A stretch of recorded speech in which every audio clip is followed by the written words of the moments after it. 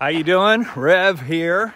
Today I want to talk about how to store your food while you're on trail and uh, how to keep the bears and as Andrew Skurka calls them, little bears, squirrels, rabbits, uh, raccoons, whatever, how to keep them out of your, your food. So pay attention, sit up straight, listen up, and stay tuned.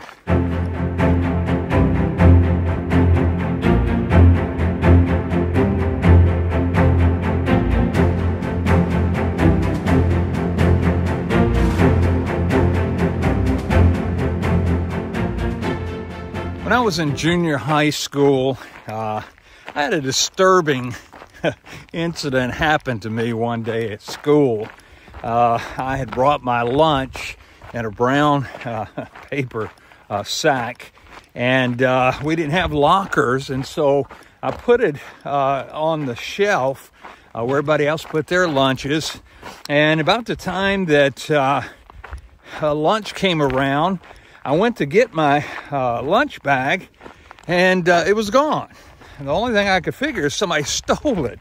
The reason why I think somebody stole is because there was no lunch, uh, lunches, lunch bags, lunch, whatever, uh, left over. It's not always a wise thing to come between a junior hire, especially a guy, and his food. Now, today I want to talk about uh, how to keep from getting your lunch or your food stolen while you're on trail. Now be sure and check the rules and regulations uh, before you go out to the wilderness, a park or a forest, wherever you're going to. Be sure and check uh, the, the regulations about what's required for food storage. Uh, it's different in different places. And by the way, if you don't uh, go by the rules and regulations, uh, then it's a heavy, heavy fine. And so if I were you, I would definitely find out what's required uh, in the place that you're going to. Again, it's just not bears that we're talking about, uh, but all kinds of uh, animals uh, sometimes associate uh, humans with food. rabbits, squirrels, raccoons, deer especially. Only one time on the uh, PCT uh, did I have, well, it wasn't food, really, it was my hat. Uh, I, and it was a dumb mistake on my part. Uh, I had left my hat outside. I was in the, I was hiking in the Mojave Desert, and uh, of course there was sweat all over my hat, and so had a lot of uh, salt stains on it. And some animal, I don't know what it was, but uh, I left it outside my tent and some animal during the middle of the night just tore it up. And I had to get a new hat because of that. Now you're doing uh, the animals a grave disservice when you either feed them purposely. Oh, he's so malnourished. I feel sorry for that deer. I need to give him some of my food. No, you're going to cause him to starve and depend upon humans to feed him. But especially if bears associate humans uh, with food, uh, then they become a problem uh, bear. And a lot of times uh, the rangers have to uh, find them and put them down and, uh, and, and kill them. So don't do the animals a disservice by not properly storing your food so they can't get to it. So with that in mind, number one, if possible, uh, keep your food in a bear locker. A lot of times uh, in the wilderness or a forest area, uh, they'll have these metal bear lockers uh, that are pretty secure uh, to keep bears uh, out of your food. And so make sure that you store it in a bear locker if there's one that's close by you when you camp for the night. Now, sometimes uh, mice uh, and, and little uh, animals can get into those bear lockers because uh, there's you know places where uh, it's not put together uh, completely. but find something, a stick, a rock, or whatever, and stuff it in there so that the mice can't get to your food. Number two, hang it in a tree. Now, be sure you know how to do a bear hang. There's all kinds of, YouTube videos that show you how you can do a bear hang, a proper bear hang. But most people don't know how to do it. So be sure and before you go uh, on a long distance hike or even a short hike, make sure that you know how to do it. Practice before you go. I have seen more people uh, throw a rock bag over a limb and it come back and smack them right in the head. I've seen that happen more times than, uh, than I can count. And so uh, uh be careful. And uh, like I said, practice before you uh, actually go out and hike. Now, when I did my through hike of the PCT in 2020, I only hung my food from a tree with a bear hang only one time, and that was because uh, there was a problem bear uh, in the area, and I wanted to make sure uh, that I had my uh, food uh, out of reach of him. Number three, put it in your tent. Now, before you freak out, okay, I want you to listen to me carefully because, again, uh, the way I did it, uh, I didn't have any problems whatsoever with little bears or big bears uh, sniffing around my tent for food. The first thing I did is I made sure that uh, all of my food was repackaged in Ziploc bags, and I made sure that those Ziploc bags did not have any leaks in them or they were torn or whatever. The next thing that I did is I took all the uh, food that was in the Ziploc bags and put them in this big Ziploc bag. It's called an OPSAK, O-P-S-A-K.